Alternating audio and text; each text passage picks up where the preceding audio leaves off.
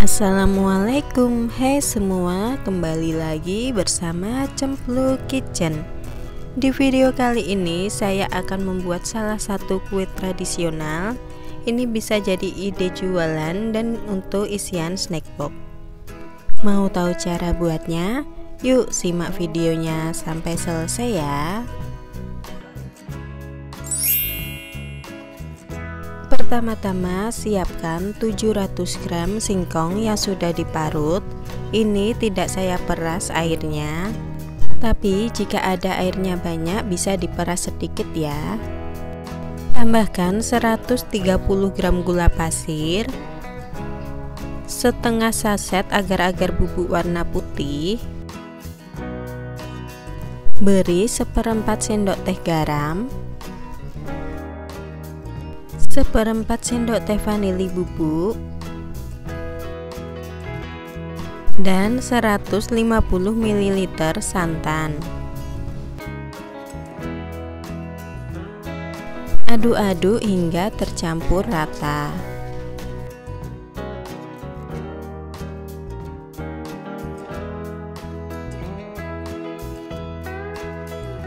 Kalau udah ini saya bagi menjadi dua bagian.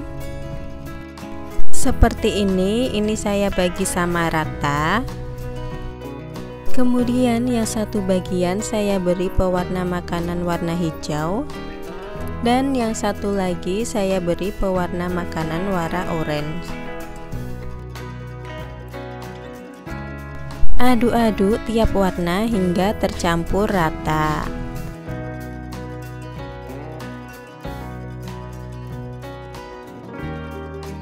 Jika sudah, masukkan ke dalam loyang. Siapkan dua buah loyang seperti ini, kemudian alasi menggunakan plastik. Bisa juga dialasi menggunakan daun pisang.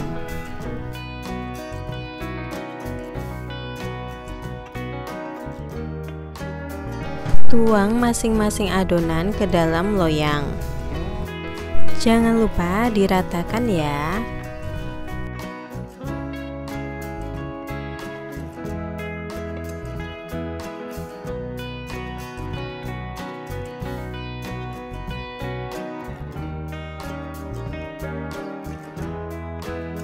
Nah, kalau udah, masukkan dalam panci kukusan yang sudah dipanaskan sebelumnya.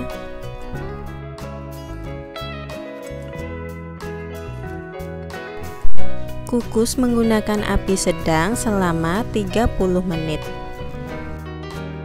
Setelah 30 menit, buka panci kukusan dan ini sudah matang ya, lalu angkat.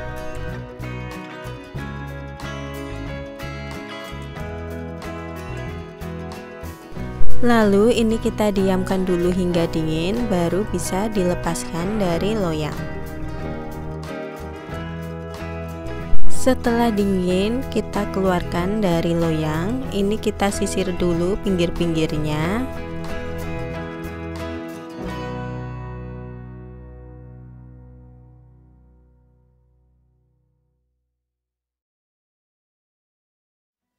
Kemudian keluarkan dari loyang. Jangan lupa buang alas plastiknya.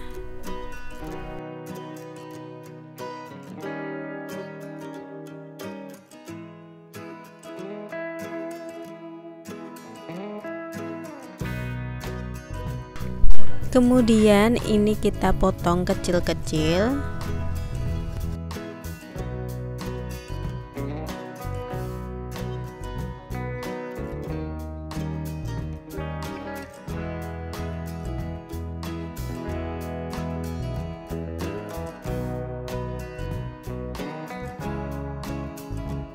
Nah, seperti ini hasil potongannya. Selanjutnya, saya sudah menyiapkan kelapa parut yang dikukus bersama daun pandan dan sedikit garam. Lalu ini kita gulingkan ke kelapa parut yang sudah dikukus tadi.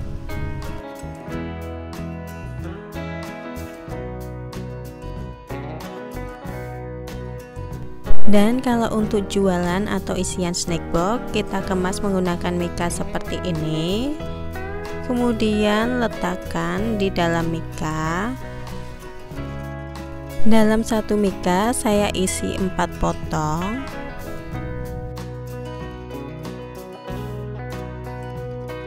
Nah, seperti ini ya. Dan inilah hasilnya kue bengawan Solo. Agar tampilannya lebih cantik, saya beri daun pandan yang sudah dipotong seperti ini. Kemudian bisa ditutup dan di staples atau diberi solasi untuk jualan. Nah, kue bengawan Solo ini olahan dari singkong, rasanya enak, manisnya pas, legit, tampilannya juga cantik. Teman-teman bisa coba buat di rumah ya. Sekian video dari saya, semoga bermanfaat. Wassalamualaikum warahmatullahi wabarakatuh.